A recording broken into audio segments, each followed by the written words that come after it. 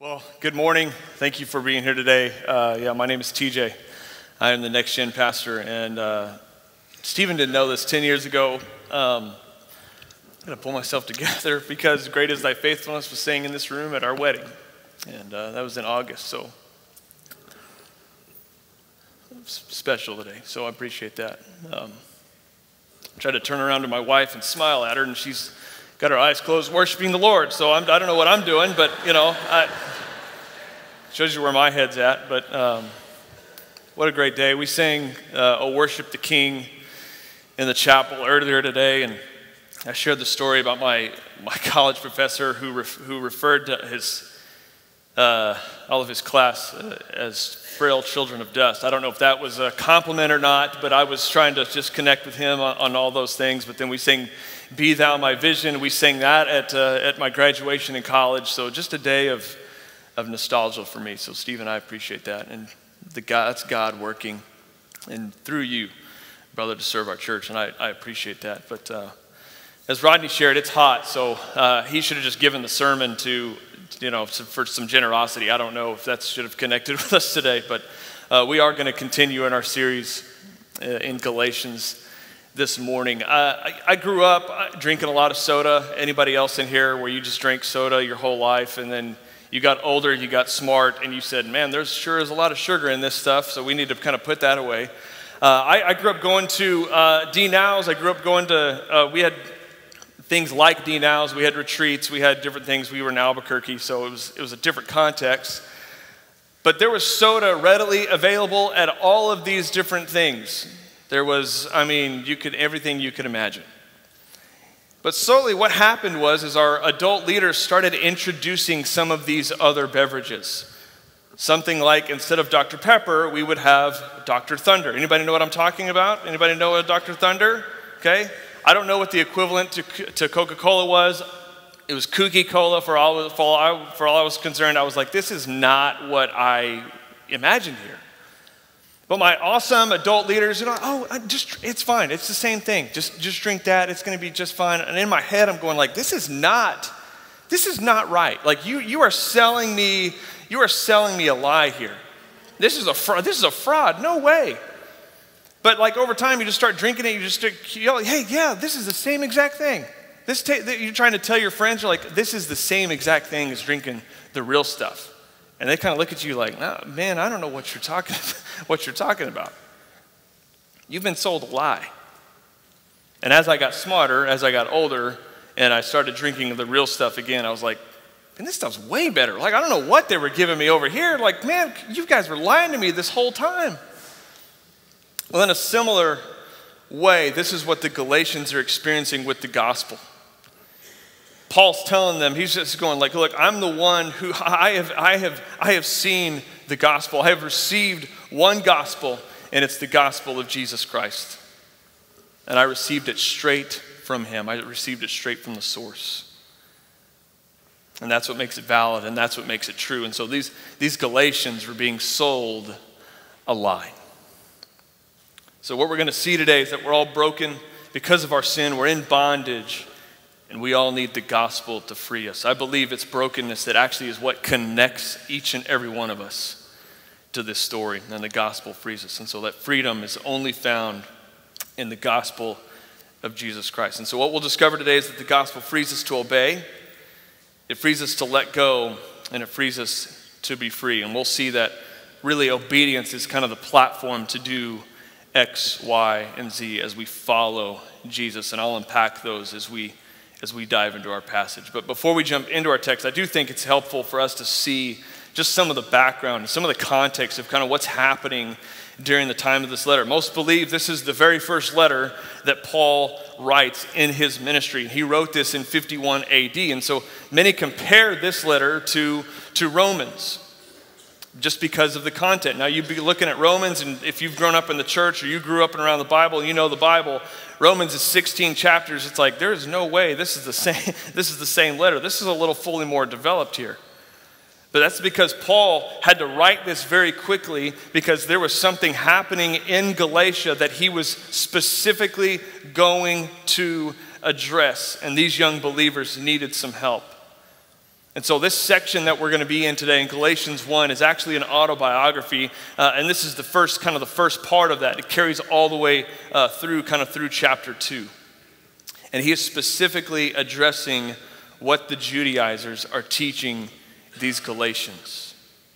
You're like, okay, well, who, who are they? And you could call the Judaizers, you could call them Jesus followers if you wanted to.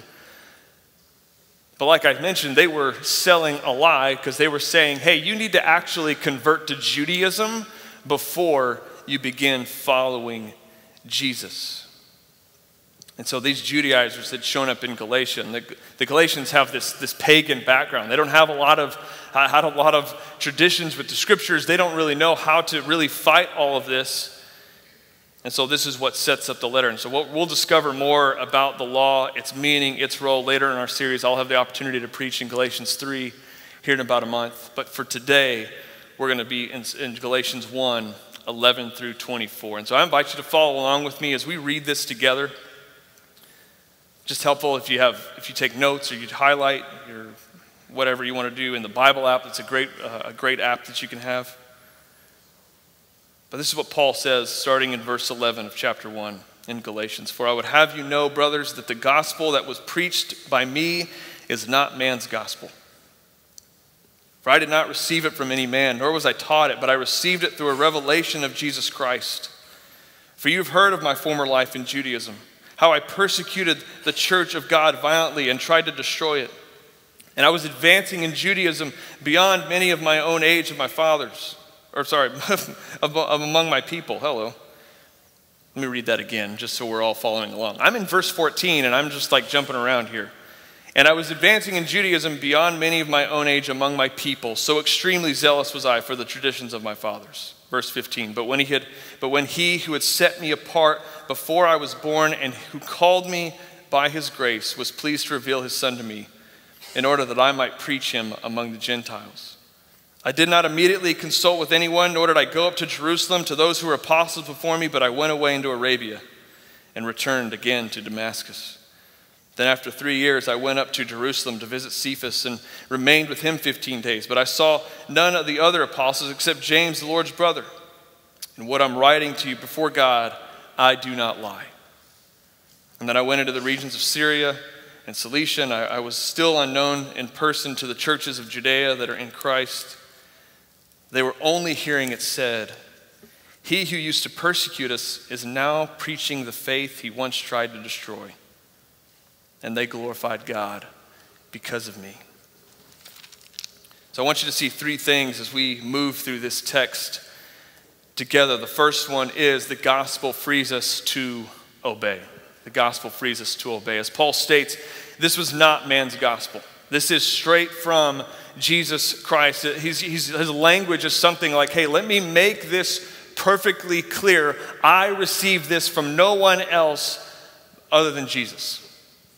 I'm like one of the apostles. He is arguing for some of his apostleship. He's saying, Look, I spent time with Jesus. He revealed himself to me on the road to Damascus. And the gospel is valid because of how it, how it was received. It's like the validity, validity of the law. It was divinely received, it wasn't created by man. This is a key point when you're, when you're trying to deal with a group of people who are just being heavily influenced by Judaism. So, what Paul's saying is that he did not acquire this information from any man, or better put, it was not handed down from tradition that was passed on through the ages. This was what Paul was fighting against. He received it directly from Jesus himself. And his opponents, however, can only appeal to, tradi- to tradi- tradition, which is full of rules and laws that need to be followed. And Paul's pointing out that there's one thing essential for intimacy with God. It's not about doing all these other things out of obligation to achieve some sort of status with God. Uh, this, is, this is modern day cultural Christianity. Right? I am a Christian because I've always been one. Or, like, I kind of sometimes do all these different things. You know, my parents, they, they, you know, they came to church all the time. Or we're, you know, we're associated with this church in the neighborhood. That doesn't make you a believer. That, just, that only hides your flaws. If you've tried to purchase a house in, in recent days, God bless you. It's crazy out there, I know. All right?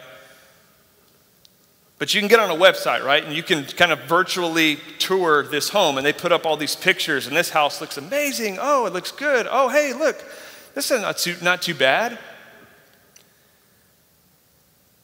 And then you get inside the home, and sometimes when you step inside a house, there are certain smells that do not come through a computer screen. and you go, huh, this, they have a lot of animals that lived in this house, I guess. I'm not, I'm not sure. Or you don't notice some of the other quirks, or you don't notice some of the other issues that are not revealed online. I mean, this is what makes social media so prevalent and so popular, is because I can live a different life online. I can put up a facade that makes it look like I live the perfect life. It's a facade to make it look better than it really is. And that's all the traditionalism in Judaism is, or cultural Christianity, or anything else that makes Christianity a facade to make me look better than I really am. The things I do, how I look, help me have a better standing with God and with others. You know what that's really called? It's called brokenness. We're broken because of our sin, and so we, we, we believe we can hide behind the mask of religion in order to achieve holiness. Knowledge of the gospel does not constitute receiving the gospel. Receiving it implies that he or she has made it his or her own. This is what Paul did. Paul owned it, Paul adopted it. It became the core of who he was rather than something he just cognitively understood. And he responded in obedience rather than seeing something as an obligation.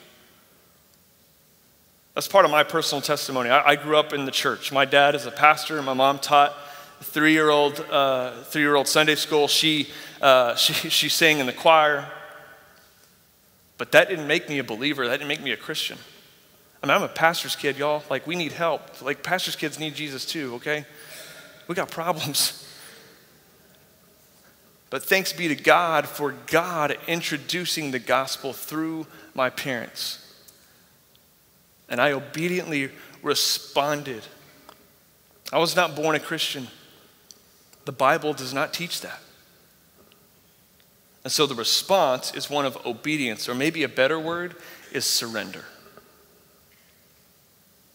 Once someone hears the gospel, there's a response that's warranted. For Paul, it was hearing his name called on the road to Damascus and Jesus revealing himself to Paul. And so to respond, he had to see how broken he was. The, tradi- the traditions of the past were not going to carry him into a life of obedience. See, the beauty of the gospel is that Jesus does not ask us to put ourselves together before responding to him in obedience. He speaks identity into our lives, and we can respond by saying, Yes, Lord, I'm, I'm yours. And so, what's your response? Perhaps you've lived your whole life just thinking, saying, hey, I'm saved by my works, or I'm, I, yeah, I'm saved by my obligations, or because your, pa- your parents are, your grandparents are. I mean, do you believe that you are saved by grace through faith in Jesus Christ alone? Or have you never trusted Christ? And you can do that today. You can receive His grace and you can respond obediently by handing your life over to Him. See, following Jesus is not about doing a bunch of stuff so that we're loved. We're loved, therefore we obey, as opposed to we obey, therefore we're loved. You are exchanging your life of rituals and just checking a box for a life that is full of joy, that is full of purpose. Essentially, this is what Paul is sharing with us, and it's available for you as well. So, this leads into our next point, or sets us up. Is it's not only does the gospel free us to obey, but the, now the gospel frees us to let go. The gospel frees us to let go. There's two parts to this. There's, the, the first is that we have to let go of our past. We have to let go of our past. Verse 13, this is, this is what Paul continues to write to the Galatians. He says, You have seen my former life of Judaism. Basically, he says, And I tried to destroy it by trying to kill believers, and I was really good at it. So there's now evidence of this, of this life change. Paul has let go of the past. He's been freed from the bondage of the religion. Paul is like a, he's like a prodigy. I mean, the Greek word they use here is for, for advancing in verse 14. That's the same word that shows up in, in Luke 2, 252 when they're talking about Jesus. I mean, he was highly honored and already had access to the high priest in, in Acts 758. But he no longer values that. He's let it go. So you get into verse 14, we find out his specialty was in knowledge of the law and the knowledge of the traditions of Judaism. Pharisees were obsessed with the traditions of their fathers.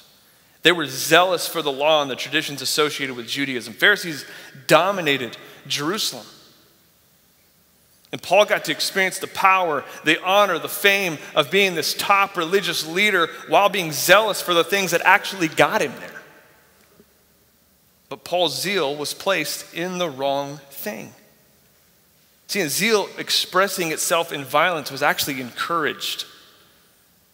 I mean, they're, they're biblical examples like, like Phineas. I mean, he makes a kebab out of a, out of a Jewish man and a Moabite woman. And he's actually rewarded for it. God, God makes a, a covenant with him. But this is the whole reason Paul has to just go away. He has to go into Arabia. He tells us in verse 17, he has to detox from Judaism.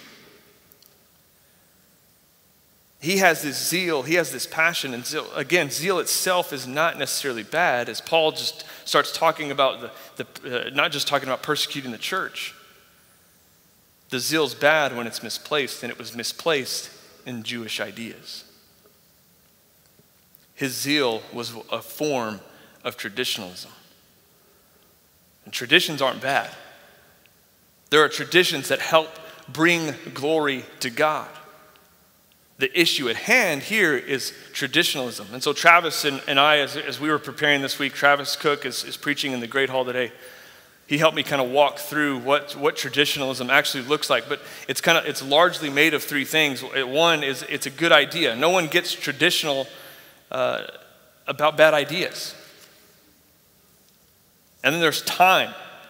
When a good idea becomes an okay idea then it becomes familiar or it becomes comfortable and then there's fear the third thing our, our traditions become a place to hide when we cease to understand what the Spirit is now doing. And so traditionalism becomes a barrier to intimacy with God.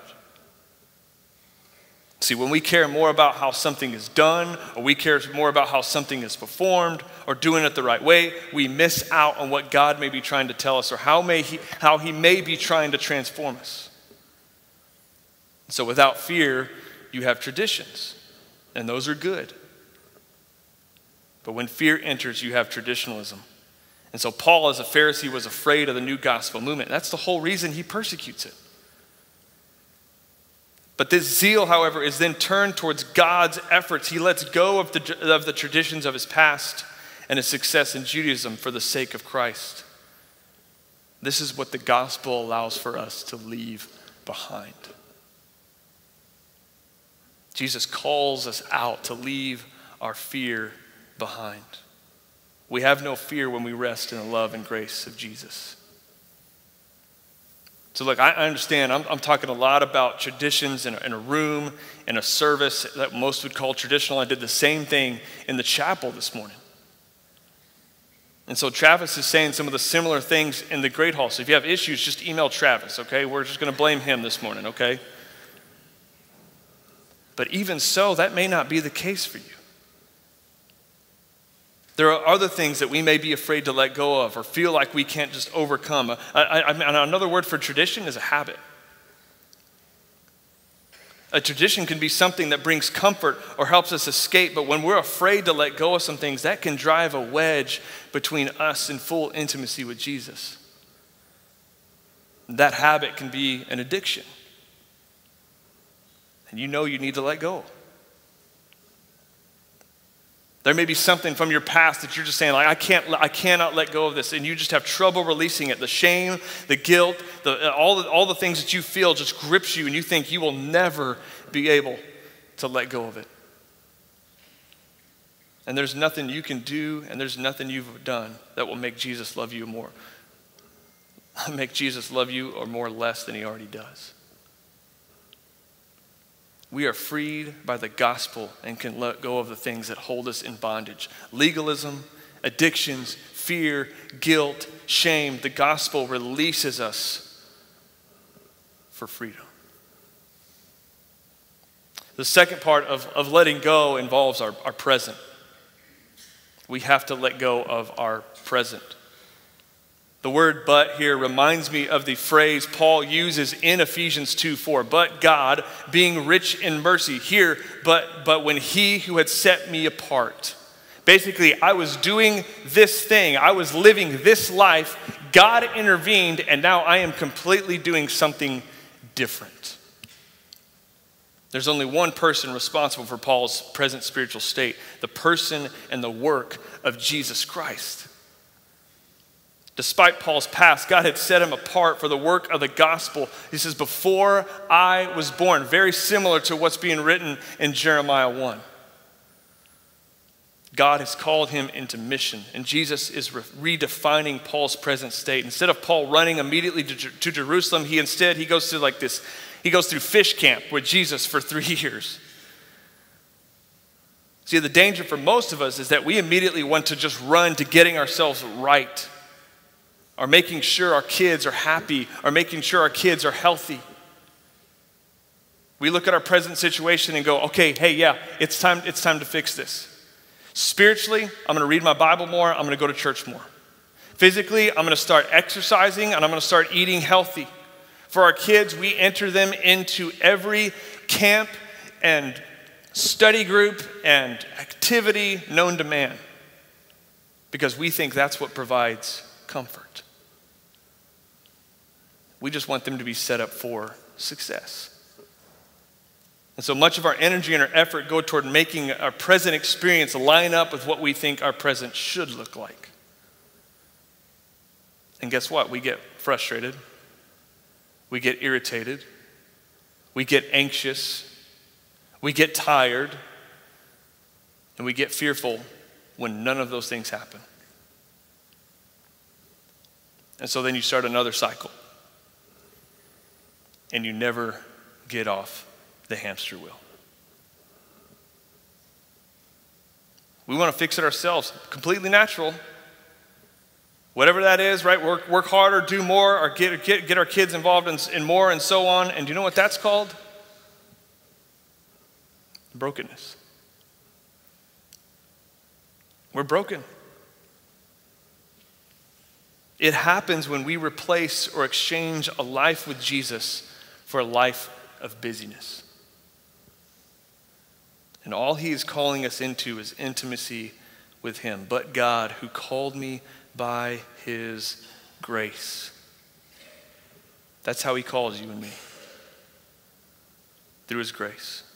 He calls us out of the rat race so we can find purpose with him. And when we obey, if we go back to our first point, we are released from the burdens we've placed on ourselves we are free to let go and develop a relationship with the Savior. Because I'm not sure, so I'm not, I'm not sure any of you have like a three year retreat with Jesus planned, or you can put that on your calendar for this year. I'm not sure any of you can do that. I know I can't do that. But what if it was three hours a week? Or what if, what if it was committing to three o'clock at every day? You just said, I'm going to spend three minutes with Jesus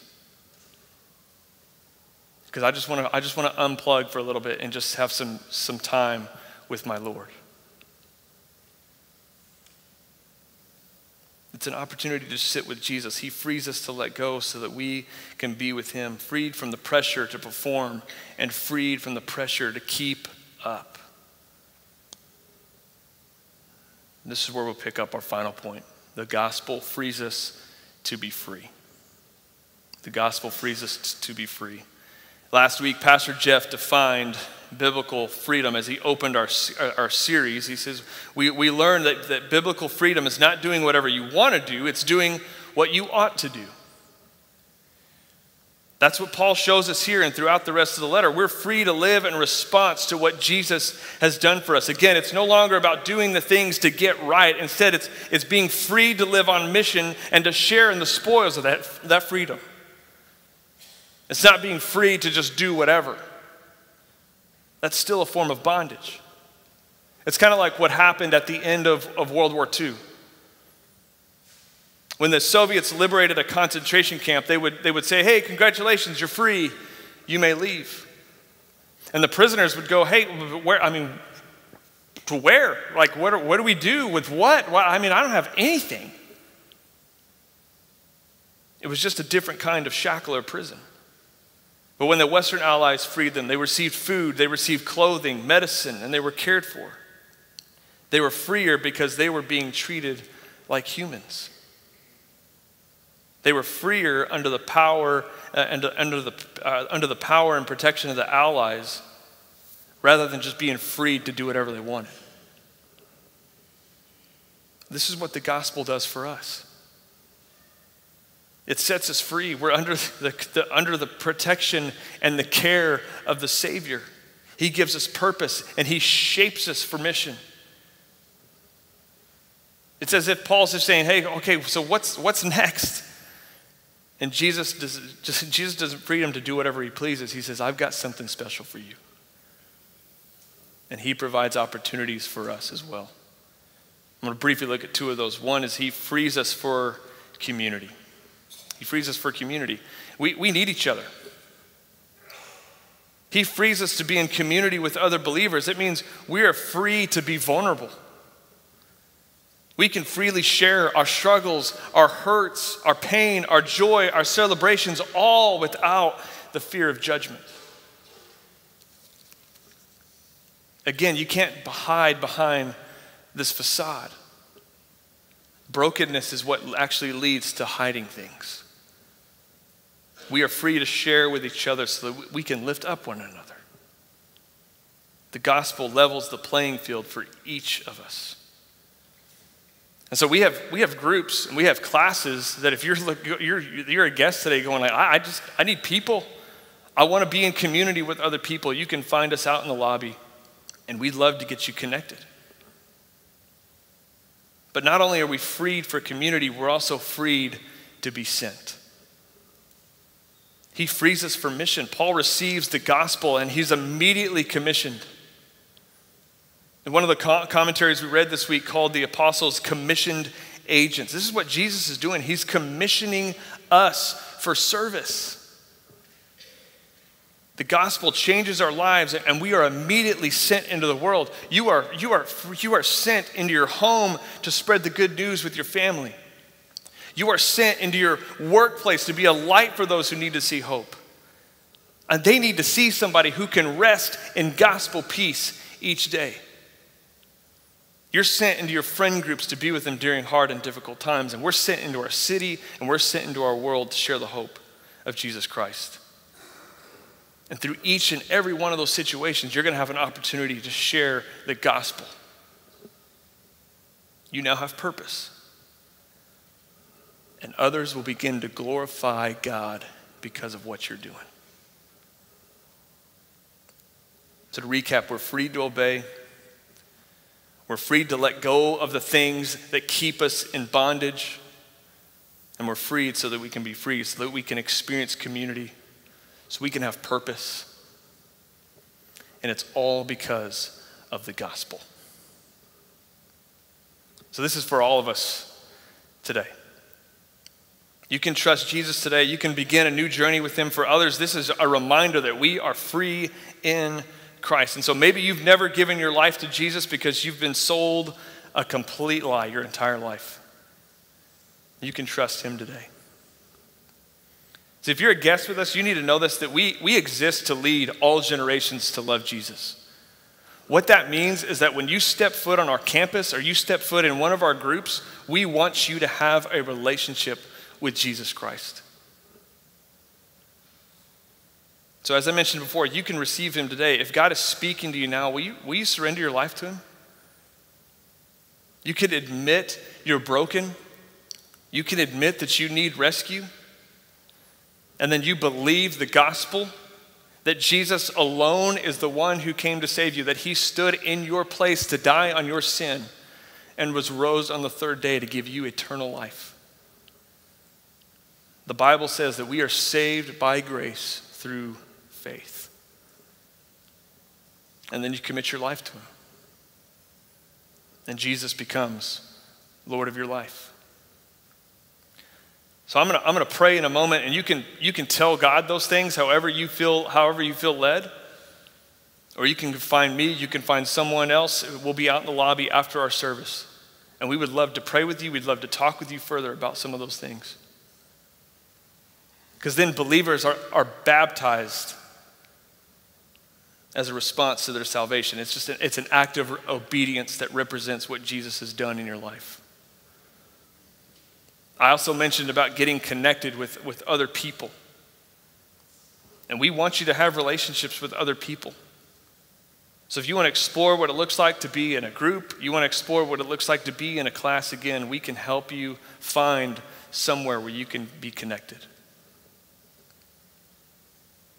So I'm going to pray and then we're going to sing a couple songs as we as we head out today. Let's pray together.